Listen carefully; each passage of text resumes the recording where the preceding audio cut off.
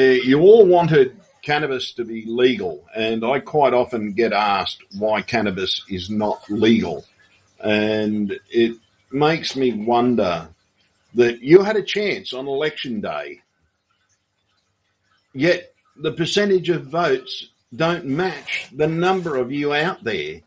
The government surveys have proven that 90%, 90%, where we all know it's actually higher than 90%.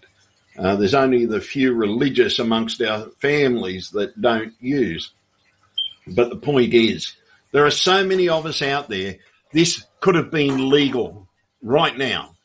You could have voted the right party in. The legalized cannabis party tried their hardest, and I mean tried their hardest, myself included. Most of us, all disabled or medical users, out there trying to fight to get it legalized for you as a recreation. But there's only one person that you can really blame for what is going on, and that's yourself.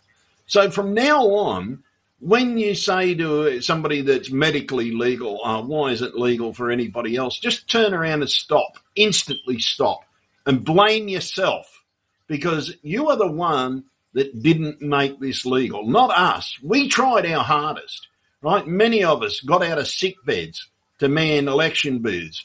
Me, myself, personally, I ran around putting posters up, making sure the posters were on as many booths as I could physically get to um, with a bum knee, bum back, yeah, and sick at the same time. And I still got off my ass and went out and helped to help you so that you don't get arrested next time you go and pick up your supply and driving home with it.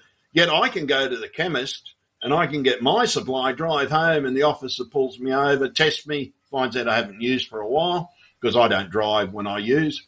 And yeah, so you've got to ask yourselves why it's not legal, it's because of you and only because of you. You've had a chance. It's New South Wales government that's stopping the legalisation in the state. It's every other state government doing the same thing.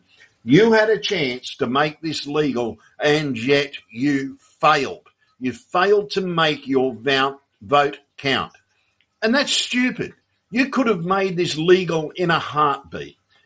Yes, our main agenda was to legalize cannabis. But we know for a fact there are many other things out there that need fixing. And we could have done that if voted in. Yes, some of us look like hippies. So what? It's not hard for us to put on a suit when we go into Parliament. And those of us that did win a seat are wearing suits now. Why? Because that's part of the job. And if you had elected the right party in, you wouldn't have to fear arrest because that's now what you've got to do for the next four years, folks, is fear arrest. You could have been sitting at home, spacing out, having a cone, and not fearing arrest. But no, for the next four years until we get it legalized for you, yeah. And you can't just put it up to the few of us that are medically legal. We could turn around and say, look, what the fuck? We could just turn around and say, forget about it. They didn't vote, so let them suffer. We could do that. Yet, do you know what the party's doing? The party's already planning for the next election. So if you don't vote for the next election, you're nuts.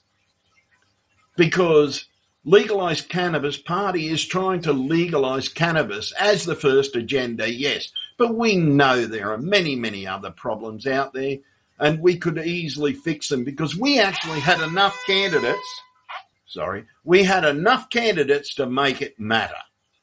And yet you sat on your backsides and thought, oh no, we'll vote for this shit party.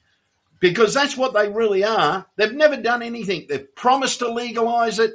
They've always promised to legalise. Oh ah, yeah, I've been a lobbyist for over 20 years. And I get that every time. Oh, we're working our best to get it legal for you, mate.